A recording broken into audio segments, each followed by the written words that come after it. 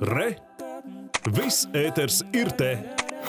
Es nevienam nenovēlu būt premjerministram šādā laikā, tā sacīja premjerministrs Denis Šmihais. Un visticamāk šādā amatā būšanas laiku, ja vien to būtu zinājis, sev nenovēlētu arī Ukrainas prezidents Volodimirs Zelenskis. Jā, agrāk pazīstams aktieris, bet tagad bieži dēvēts par spēcīgāko līderi pasaulē. Bet vai tāds viņš bija arī savā dzimtajā pilsētā Krivīrihā? Devāmies skaidrot. Šī ir Krivīriha.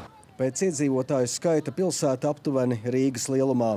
Ukrainas centrālajā dienvidu daļā dzelsrūdas ieguvas un rūpniecības centrs. Šī ir Volodimira Zelenska dzimtā pilsēta. Tas ir forši, kad viņš kļuva par prezidentu, arī pilsēta sāka attīstīties. Esam apmierināti, ka mums parādījās tāds prezidents, kurš tagad rokās satur valsti.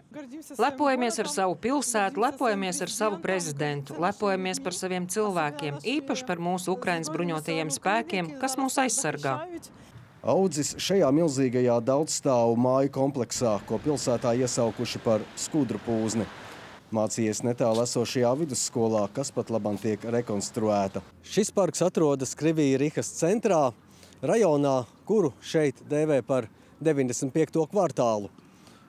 Valdemirs Zelenskis dzīvoja tepat netālu, tepat netālu viņš gāja skolā, un arī vēlāk, dibinot savu studiju, viņš to nosauca šī rajona vārdā – kvartāls 95. Zelenska humoristisko šovu un šovu biznesa pirmsākumi meklējami laikā, kad viņš 90. gadu vidū iestājās Krievijas ekonomikas institūtā, studēja juristos. Tiekamies ar institūta prorektoru. Viņš parāda vēl nerestaurētu gaiteni. Tā toreiz šeit izskatījās. 90. gadi Krievijā, kā daudz viet, bija skarbs laiks.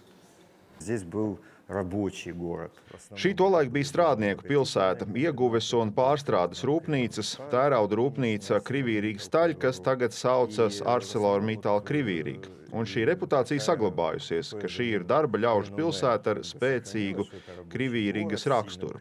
Tolaik ļoti raksturīga parādība bija pusauģu huligānu grupas. Jā, bija visas šādas lietas, bet vienlaikus Krivīrīga bija arī kultūras centrs, sākot no augstās mākslas, drāmas teātris, kultūras pils un beidzot ar neformālām kultūras kustībām, viena no kurām bija KVN jautro un atjautīgo klubs.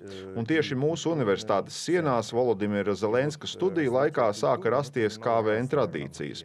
Tolaik tas jau bija populārs televīzijas konkurss, bet Volodimirs Aleksandrovičs un viņa studiju biedri bija pirmie, kas šo tradīciju atnesa Krivīrihā. Tolaik ar domu biedriem Zelenskis sāka veidot humoristiskas uzstāšanās. Tiekamies ar Natāliju Vološaņuku, kura tolaik institūtā viņam pasniedza finanses. Был обыкновенным студентом, как и все. Viņš bija parasts students, kā visi, bet izcēlās ar jautru raksturu, izteiktu humoru izjūtu, mācīja ap sevi pulcēt jauniešus, jau tolaik izrādīja līderspējas.